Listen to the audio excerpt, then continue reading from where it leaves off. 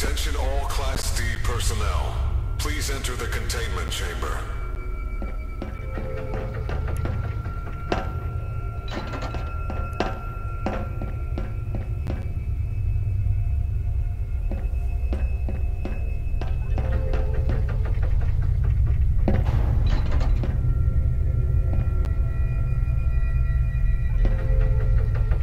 Uh, there seems to be a problem with the door control isn't responding to any of our attempts to close it.